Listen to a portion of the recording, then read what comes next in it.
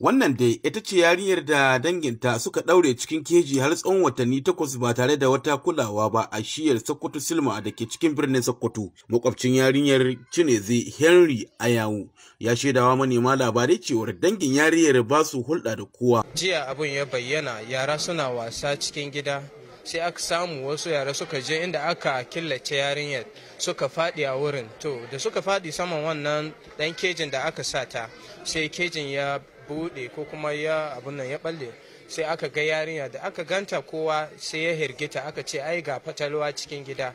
To mu kuma ina shigowa aka ce min ga abin da ya faru. Muka je muka ganta muka ce gaskiya lalle ba za mu bar ga magana a nan ba.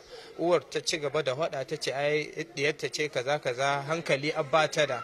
Muka dai hada muka ce ai koda ba ta da hankali bai kamata a killace ta ba koda dabba ce bai kamata a sa ta cikin wannan yanayin ba. To nan take muka je muka kai kara muka ce to ya kamata hukuma ta to ta shiga cikin wannan magana don ba magana ce wadda mu muke iya janta zuwa har zuwa inda ake son ta. Yarinyar dai ta ce ta sha azabar yunwa da kishirwa na tsawon lokacin da take ƙunshi a cikin keji.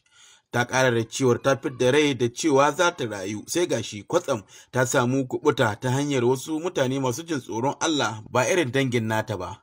Kwamishinan 'yan sandan jihar Sokoto Kola Okulola da kwamishiniyar lamuran mata da ƙananan yara ta jihar Sokoto Kulu Abdullahi Sifawa sun lashe takobin hukunta masu cin zarafin jinsi a jihar. Yanzu wannan yarinyar za mu diba ta hanyar da za mu ba ta abinci dai tukun lahiyar ta ta dawo. A ɗan ƙara mata ruwa a yi mata gashe gashen jiki don ƙafafun bisa firiji ta yi kwana du shekarun ga. Kafar ta ba ta iya lankwashe ta ba ta ma iya tsayawa. So asibiti za su yi iyakan nasu mu kuma za mu sai magani za mu sai abinci sannan da duk masu sa hannu. Za mu kira su koya aikin shi insha Allah wannan abu in aka yi muna da lauyoyi in yan sanda sun kai su ga kotu waɗanda za mu aika su bi wannan kes sai sun ga bayanai. Yarinyar dai 'yar asalin jihar Akwa Ibom yanzu haka na asibitin ƙwararru ta jihar Sokoto inda take samun kulawar likitoci. 'Yan sanda da yanzu haka.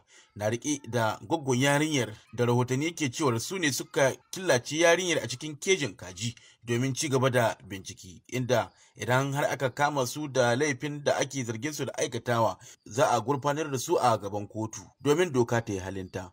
Daga sokoto musa yusuf sanyina labaran farin wata.